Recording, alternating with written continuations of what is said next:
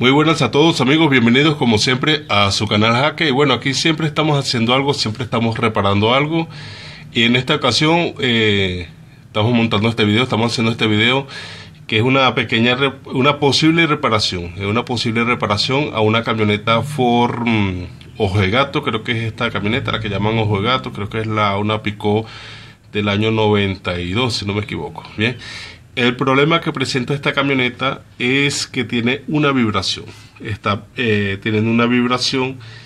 Eh, tenemos la sospecha de el que de la vibración está dentro o acá en el piñón de ataque donde termina el caldán y se une con lo que es la transmisión la ¿sí?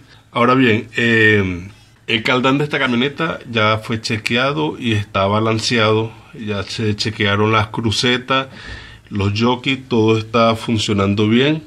Tenemos la sospecha de que el problema está acá en el piñón de ataque. Y bueno, este video es porque de repente algunos de ustedes tienen este mismo problema y lo pueden solucionar como lo vamos a solucionar nosotros. ¿Qué vamos a hacer ahorita? Vamos a quitar eh, cuatro pernos, cuatro tornillos que son de alto grado, también apretados. Eh, son tipo estrella, fíjense. Vamos a enfocar un poquito. Ahora bien, para quitar estos tornillos, eh, por lo general se necesitan herramientas de, pues, de dado de, estrella, un riachi dado de estrella, pero también, también existe la posibilidad de quitarlo con llave de este tipo así estrella, se incrusta y por medio de una palanca se logran aflojar los tornillos. Estos tornillos también apretados, entonces eh, vale decir que a la hora de aflojarlo hay que eh, poner una cuña en las ruedas si no tienen freno de mano activado. Si no tienen freno de mano, bueno, tienen que acuñar la, rueda tanto por delante como por detrás para poder aflojar cada uno de estos perros. Bien, ahora sí, vamos con la parte de, de vamos a quitarlo, vamos a bajar lo que sería la cruceta, vamos a bajar este acople y vamos a revisar porque seguramente creemos que el problema está en la parte interna, una tuerca que se está aflojando y hace que esta pieza agarre un poco de movimiento y meta ese movimiento al resto de la estructura de la camioneta. Bien, ahora sí vamos a bajar lo que sería la eh, los tornillos. Bien.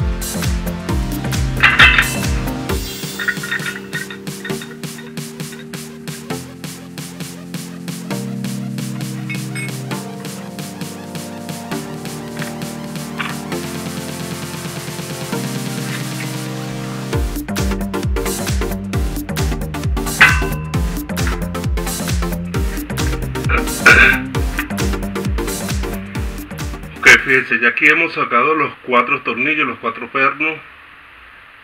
Con esto por acá. Ahora sí, vamos a desmontar el caldán. Y vamos a necesitar un destornillador para hacerle palanca.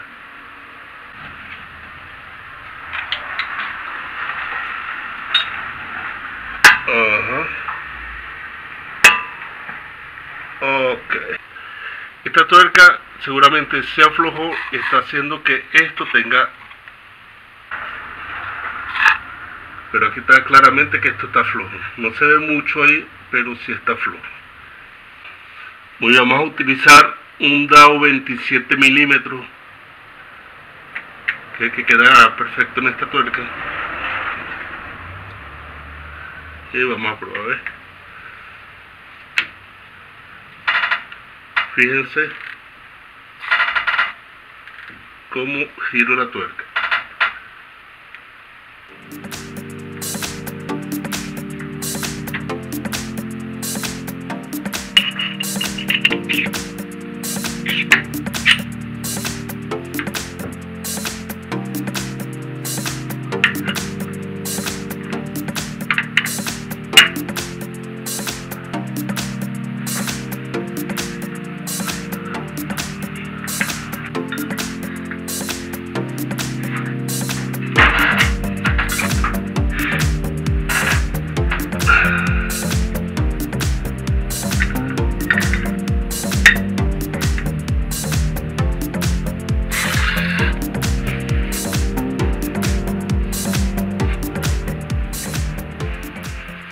Muy bien amigos, ya esto está apretado.